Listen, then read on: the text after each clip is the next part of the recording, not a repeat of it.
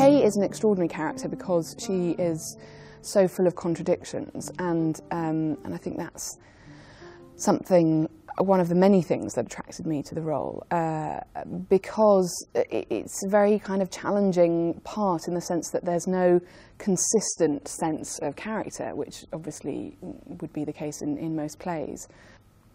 For me, there was a, a, a great sense of excitement about the challenge of, of playing a character that, in a sense, doesn't have much of a sense of self, and that in many ways is defined by by the people around her. And um, you hear so much about her that is then directly contradicted by her family or um, someone from her past. And so what attracted me was um, a character that was very fragmented and the challenge of trying to make that fragmented character whole, I suppose.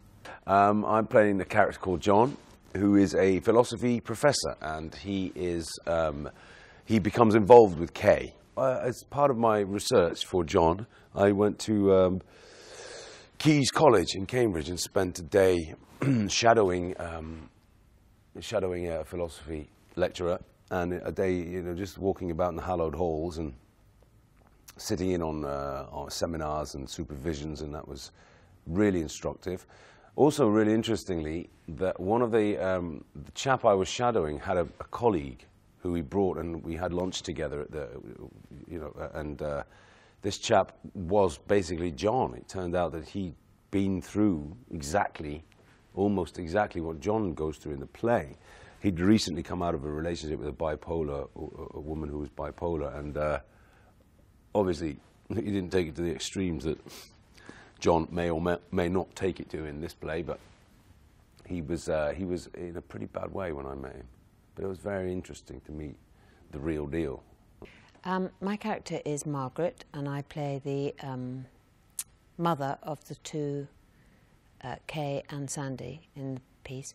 I think she has a really hard time, actually, um, but she's she adores them, but she's, I think, rather worn out by the whole uh, ongoing difficulties you know, specifically with my character, my character is somebody who comes into the play but isn't intrinsically linked or kind of woven into the tapestry of the of the, the, the drama within the kind of the family.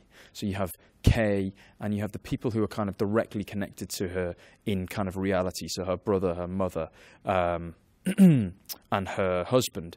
Um, and Jesus is very much somebody who kind of comes to her and to John in moments of kind of weakness, perhaps, or in moments of strength. But but I always felt he came to those those characters when he was needed, and so. Yes, of course, you have to look at it in terms of the context of the piece because it doesn't really make sense otherwise. But I always felt that it was important for me to really understand those scenes in their own right because essentially that's kind of the function that he serves.